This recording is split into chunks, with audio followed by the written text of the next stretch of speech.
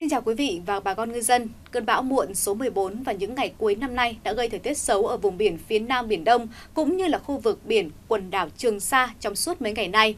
Dự báo trong 24 giờ tới, áp thấp nhiệt đới suy yếu từ bão số 14, di chuyển theo hướng Tây, mỗi giờ đi được khoảng từ 10 đến 15 km và suy yếu dần thành một vùng áp thấp. Cường độ giảm xuống còn dưới cấp 6.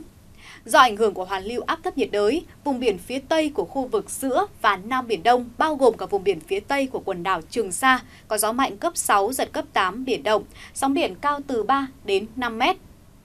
Đối với các vùng biển ở phía Bắc của Biển Đông, trong đó có vùng biển huyện đảo Hoàng Sa, do không khí lạnh hoạt động yếu dần đi nên gió Đông Bắc cũng giảm nhanh về cường độ, chỉ còn phổ biến ở mức cấp 5, đôi lúc đạt cấp 6. Đến khoảng ngày 24 tháng 12, không khí lạnh lại tăng cường trở lại, Tuy nhiên, với mức độ rất yếu, không đủ để làm cho gió mạnh lên. Vì vậy, nhìn chung thời tiết ở khu vực này khá ổn định trong những ngày tới và thuận lợi cho tàu thuyền hoạt động. Đến với thời tiết trên các tuyến hải trình ra vào đảo, Thưa quý vị và bà con ngư dân vùng biển Vịnh Bắc Bộ bao gồm tuyến hải trình từ Hải Phòng ra đến đảo Bạch Long Vĩ, trong đêm nay và ngày mai gió Đông Bắc có cường độ phổ biến ở mức cấp 5. Từ ngày 25, không khí lạnh lại suy yếu nhanh nên cường độ gió nhanh chóng giảm xuống dưới cấp 5 và tiếp tục giảm thêm khoảng trong những ngày tiếp theo.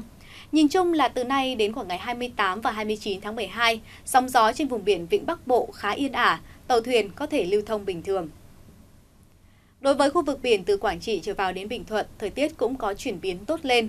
Trong đêm nay và sáng ngày mai, ở vùng biển ven bờ còn có gió mạnh cấp 6. Từ chiều mai sẽ giảm dần xuống, phổ biến chỉ còn ở cấp 4 đến cấp 5. Tuy nhiên, những cơn mưa vẫn tiếp tục diễn ra trong đêm nay, ngày mai và đến hết đêm ngày 24 tháng 12. Nhìn chung thời tiết chưa được thuận lợi cho việc đánh bắt hải sản của bà con ngư dân khu vực này. Khu vực biển từ Bà Rịa Vũng Tàu trở vào đến Cà Mau cũng như trên tuyến hải trình từ Vũng Tàu ra Côn Đảo. Dự báo trong đêm nay và ngày mai, gió Đông Bắc ở mức cấp 6, gây sóng cao, biển động. Ngoài ra trời vẫn nhiều mây và có mưa rông kèm theo khả năng xảy ra lốc xoáy, gió giật, gây mất an toàn cho các hoạt động hàng hải.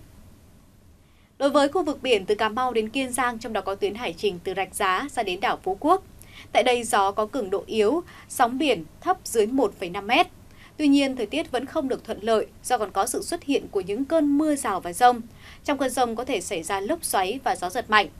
Mưa có khả năng kéo dài đến hết đêm ngày 24 tháng 12. Sau đó, thời tiết mới chuyển tốt lên, trời có nắng và tầm nhìn xa thông thoáng. Những thông tin vừa rồi cũng đã khép lại bản tin thời tiết biển chiều nay của chúng tôi. Xin chào và hẹn gặp lại quý vị và bà con trong các bản tin tiếp theo.